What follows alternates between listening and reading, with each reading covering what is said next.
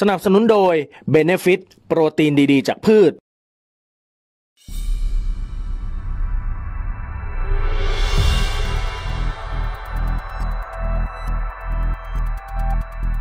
รัฐมนตรีประจำสำนักนายกรัฐมนตรีนายธนกรวังบุญคงชนะในฐานะสสบัญชีรายชื่อและรองหัวหน้าพรรครวมไทยสร้างชาติ บอกถึงสถานการณ์ทางการเมืองขณะนี้ ว่าทุกอย่างเดินไปตามกลไกของรัฐธรรมนูญ ในการเลือกตั้งนายกรัฐมนตรี เมื่อครั้งแรกไม่ได้ก็เป็นครั้งที่ 2 และเมื่อมาถึงครั้งที่ 3 ก็ต้องเปิดโอกาสให้พรรคอันดับ 2 จัดตั้งไปตามกลไก หากอันดับ 2 ไม่ได้ก็ต้องมาอันดับ 3เป็นธรรมเนียมทางการเมืองที่ให้เกียรติผู้ที่ได้คะแนนสูงสุดอยู่แล้ว แต่กระบวนการต่างๆ เข้าใจว่าประธานสภาคงเร่งดำเนินการอยู่ เพราะวันนี้ประชาชนทั้งประเทศรวมถึงภาคเอกชน ภาคธุรกิจต่างๆ ก็รอรัฐบาลใหม่อยู่ ดังนั้นจึงต้องเร่งให้ได้รัฐบาลใหม่โดยเร็ว ส่วนหากก้าวไกลยังดึงเกมไม่ยอมประกาศให้เพื่อไทยเสนอชื่อนายกรัฐมนตรีเพื่อจัดตั้งรัฐบาลเสียที จะทำให้เสียเวลาประชาชนทั้งประเทศหรือไม่ นายธนกรบอกว่าส่วนตัวคิดว่า ถ้าเป็นแบบนั้นก็จะเป็นการเสียเวลาประชาชนมากเกินไป เพราะการเดินเกมกระบวนการต่างๆ ทางการเมือง เข้าใจว่าเป็นสิทธิ์ของทุกพักที่จะดำเนินการได้ แต่วันนี้พักก้าวไกลก็เห็นอยู่แล้วว่าสมาชิกรัฐสภาทั้งครั้งที่ 1 และ 2 ก็ไม่สนับสนุนนายพิธาลิมเจริญรัตให้เป็นนายกรัฐมนตรีเพราะพักก้าวไกลมีนโยบายชัดเจน เรื่องการแก้ไข ประมวลกฎหมายอาญามาตรา 112 และยังเดินหน้าต่อไม่ยอมลดเพดาน ซึ่งสมาชิกรัฐสภาส่วนใหญ่ก็ไม่เห็นด้วยกับนโยบายนี้เราไม่ควรนำเสียงพี่น้องประชาชนที่บอกว่า 14 ล้านเสียงที่ต้องการให้นายพิธาเป็นนายก แล้วมองคนที่ไม่เห็นด้วยไปทำลายความฝันของคนทั้งประเทศ การพูดแบบนั้นถือว่าไม่ถูกต้อง ราะรู้อยู่แล้วว่าคนไทยมี 60-70 ล้านคน วันนี้การเลือกตั้งของไทยเราไม่ใช่ระบบประธานาธิบดี เป็นระบบรัฐสภากลไกการเลือกนายก ที่ต้องมาจากสสและสว ที่เป็นคนเลือกตามรัฐธรรมนูญ หากโหวตว่าไม่ผ่านก็ถือว่าจบไป แต่แกนนำพักก้าวไกลเห็นหลายคนชอบอ้างประชาชน ซึ่งของพรรครวมไทยสร้างชาติเกือบ 5 ล้านเสียง ที่เป็นเสียงประชาชน เราก็ให้ความสำคัญ แต่ต้องเข้าใจระบบการเลือกตั้งว่าไม่ใช่การเลือกระบบประธานาธิบดี เป็นคนละเรื่องกัน นายธนกรบอกว่าการไปอ้างบิดเบือนแบบนี้ทำให้ประชาชนเกิดความเข้าใจผิดได้ ซึ่งต้องยอมรับกลไกของระบบเลือกตั้งรัฐสภา จริง ๆ แล้วตนให้กำลังใจนายพิธาทุกครั้ง แล้ววันนี้ก็ยังให้กำลังใจอยู่ แต่ในทางการเมืองก็ต้องเดินหน้ากันต่อไป วันนี้ไม่ได้เป็นนายก วันหน้าก็อาจได้เป็นก็ได้ ใครจะไปรู้ แต่เราต้องยอมรับกติกาบ้านเมือง ยอมรับกฎหมายตามรัฐธรรมนูญ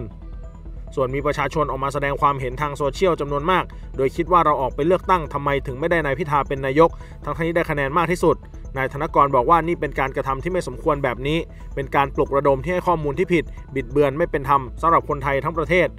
การชุมนุมเคลื่อนไหวต่างๆ สามารถทำได้โดยรัฐธรรมนูญ เป็นสิทธิเสรีภาพ แต่ต้องมาพร้อมหน้าที่ความรับผิดชอบ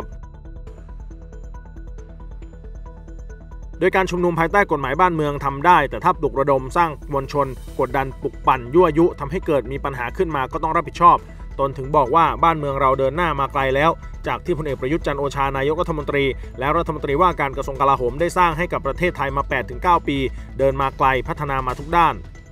แต่วันนี้มีการเดินเกมสองขาในสภาก็เดินไป อีกขาหนึ่งก็เดินเกมปลุกม็อบปลุกมวลชนลงถนน ใช้ข้อมูลบิดเบือน ปลุกปั่นยั่วยุ ซึ่งไม่เคยเห็นแกนนำพักก้าวไกลรวมถึงนายพิธาได้ออกมาห้ามปรามว่าไม่ให้ผู้สนับสนุนหรือด้อมส้มหยุดการกระทำเลย ซึ่งแทนที่จะไปขอเสียงสวแต่ปล่อยให้ด้อมส้มไปถล่มคุกคามบูลลี่สวทั้งครอบครัว ญาติพี่น้อง รวมไปถึงธุรกิจของสวแบบนี้ถ้าตนเป็นนายพิธาจะพูดคุยสร้างความเข้าใจกับด้อมส้มให้มากกว่านี้ เพราะจะเป็นนายกของคนไทยทุกคน ไม่ใช่เป็นนายก เฉพาะด้อมส้ม ขอพูดแบบตรงไปตรงมา เพราะไม่อยากให้มีบรรยากาศแบบนี้เกิดขึ้นนายธนกรบอกว่าการเลือกนายกรัฐมนตรีและคณะรัฐมนตรีใหม่ก็เลือกไปตามกลไกประชาธิปไตยตามรัฐธรรมนูญ ใครจะเป็นรัฐบาลก็เป็นไป ซึ่งส่วนตัวก็ออกมาตั้งแต่ต้นว่าพร้อมเป็นฝ่ายค้าน หรือเป็นฝ่ายไหนก็พร้อมหมด ไม่ว่าอยู่ตรงไหนถ้าทำหน้าที่ให้กับพี่น้องคนไทยได้ ไม่มีความจำเป็น ต้องมาตีโพยตีพายออกมาปลุกระดมมวลชน เพราะจะทำให้บ้านเมืองย้อนไปสู่ความขัดแย้ง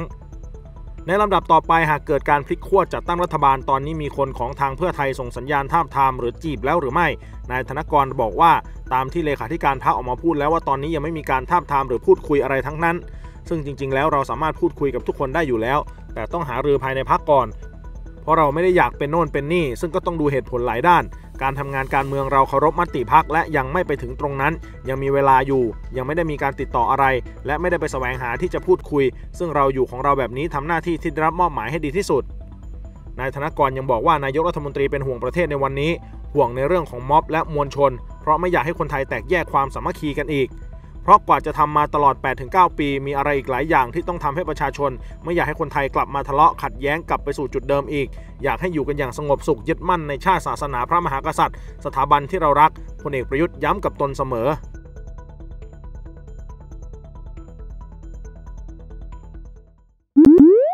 และว้าวใหม่ล่าสุด ใครอยากส่งกำลังใจให้ทีมข่าว Bright TV ปุ่มซุปเปอร์แตงหรือปุ่มขอบคุณ ฟีเจอร์ใหม่ของทาง YouTube ได้ทางด้านล่างขวามือ Bright TV ขอบคุณค่ะ